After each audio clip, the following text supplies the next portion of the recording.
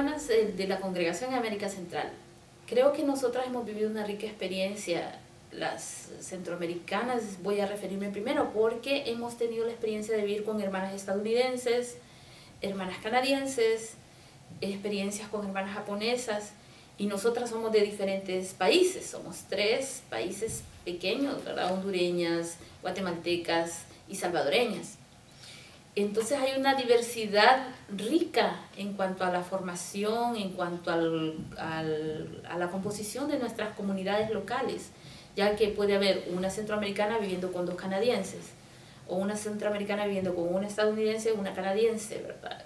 Entonces yo creo que eh, somos en este momento eh, tres hermanas guatemaltecas profesas, una hermana salvadoreña profesa, y somos 13 eh, hermanas hondureñas.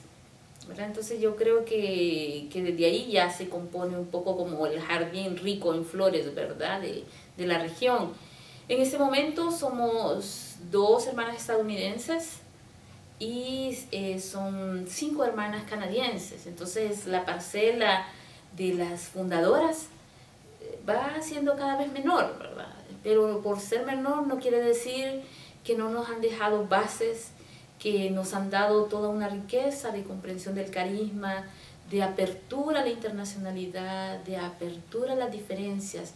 cuando hablamos de esta rica diversidad, hablamos del agradecimiento de las primeras hermanas que llegaron a la región para la evangelización, el trabajo de evangelización y el trabajo con la gente, con la base. Entonces yo creo que primero tenemos que agradecer al Señor esta riqueza de permitirnos ser pequeñas comunidades locales, pero con esa diversidad multicultural, ¿verdad?, que nos compone, que aunque seamos de la misma región y hablemos el mismo idioma, también tenemos nuestras diferencias, ¿verdad?, nuestras diferencias y nuestras riquezas.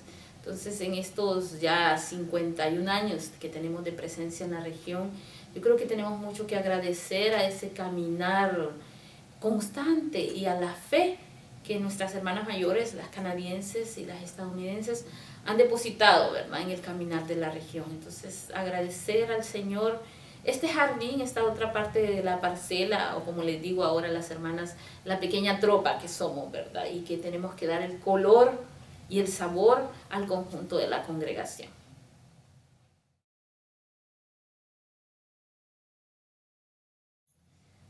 Hablar del carisma de Margarita Bourgeois es hablar de una mujer apasionada. Yo creo que el carisma se intensifica y se vive en la región porque nos sentimos sumamente reconocidas, implicadas, apasionadas por la manera de, ser de esta mujer. De Margarita Bourgeois, que nos atrae. La primera cuestión del carisma es la atracción por vivir a la manera de Margarita Bourgeois la pasión con que ella ve la vida, la pasión con que se entrega a la gente, la pasión con que realiza las cosas, ¿verdad? Por pequeñas que sean. Ese es un atrayente para nosotras en América Central, sobre todo el espíritu de la visitación. Porque nuestros pueblos centroamericanos somos personas de acogida, de hospitalidad. Entonces el carisma encuentra ahí como, como su cuna, se encuentra bien allí, ¿verdad? Bien enraizado, porque es parte de nuestra vida ir y visitar, ir y visitar a la otra persona, eh, los enfermos, los necesitados de escucha, los necesitados de presencia, aunque sea una presencia silenciosa. El carisma toma forma y es significativo para nosotras las, las hermanas allá y para las centroamericanas de manera especial porque nos sentimos identificadas con Margarita Bourgeois y su trabajo. Y el carisma sigue teniendo sentido hoy para nosotras, sigue siendo válido y es una riqueza y una bendición porque después de tantos años que Margarita Bourgeois inició este proyecto de Dios en su vida, para nosotras sigue teniendo validez, sigue teniendo sentido, sigue teniendo eco. Entonces visitar es llevar a Dios a la otra persona y encontrar a Dios en la otra persona. Entonces el carisma visitación pentecostés en esta realidad sufriente de los pueblos de América Central es llevar esperanza, es llevar vida, es llevar alegría, es llevar presencia, es llevar a Dios que opta siempre por los pequeños y los pobres. Entonces el carisma eh, para nosotras allá tiene tanta amplitud de poder realizarlo, tantos campos. Todavía seguimos buscando cómo, cómo enraizarlo, qué nuevas maneras, nuevas formas, ¿verdad?